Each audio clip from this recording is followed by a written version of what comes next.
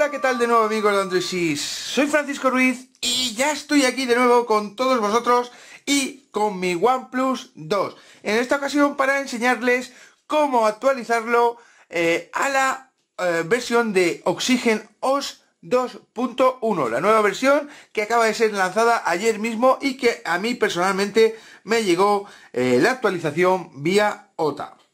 Ya os expliqué en otro post que los que tengan problemas con la actualización del sistema porque tengan un terminal que a la hora de detectar la OTA se la detecta, pero cuando la está instalando se para y no acaba de instalarla, eso es que tenéis un terminal manipulado, lo habéis comprado en una tienda china y viene manipulado. Se ha tocado algo del sistema que no te deja instalar vía OTA. Eh, en el enlace de este vídeo os voy a dejar un, o sea, en, la descripción de este vídeo os voy a dejar un enlace al post de Android 6 donde os expliqué cómo solucionar esto y poder habilitar ya las actualizaciones vía OTA para que lo actualicéis como yo. Eh, el proceso es tan sencillo como descargarse la OTA completa, o sea, la actualización de, de oxígenos completa y volver a flashear el teléfono desde el propio recovery de, que nos ofrece OnePlus. No vamos a perder ni garantía ni nada y vamos a limpiar por completo el terminal sin perder nuestras aplicaciones instaladas. ¿Vale? Todo aquel que quiera instalar esta OTA, ahora mismo les voy a pasar a comentar cómo se hace de manera manual. Como veis, es Android 5.1.1 y eh, la versión de Oxygen 2.1.0, o sea, la ultimita que acaba de salir. ¿Qué mejoras tiene? Una gran mejora que he encontrado es que, por ejemplo, cuando nos vamos a...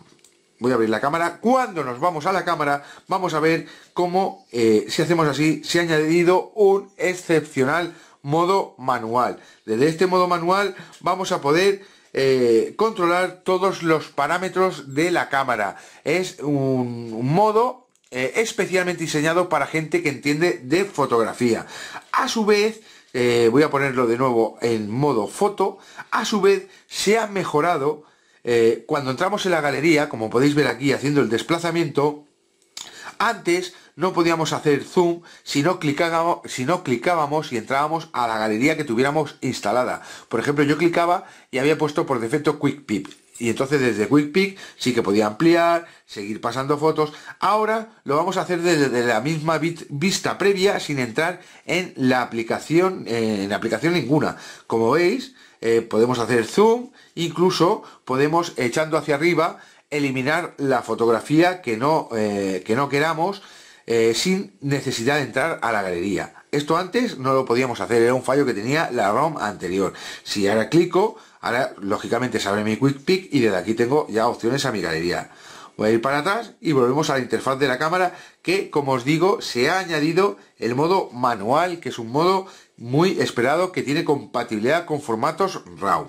Eh, vamos a volver para atrás y otra de las mejoras, aparte de mejoras de rendimiento, mejoras de batería, de fluidez del sistema, eh, otra de las mejoras la podemos ver aquí en la opción de pantalla, donde se nos ha añadido estas dos nuevas barritas. El nivel de brillo, para que lo podamos controlar desde aquí, sin necesidad de entrar en otra opción, y el balance de color. El balance de color que es eh, para graduar de tono frío, que sería aquí, a tono cálido. Eh, no creo que lo podáis ver vosotros, pero eh, la graduación del color es muy poquita a un tono como pastel, los blancos como más pastelosos y aquí un blanco más frío. A mí me gusta aquí en el modo frío.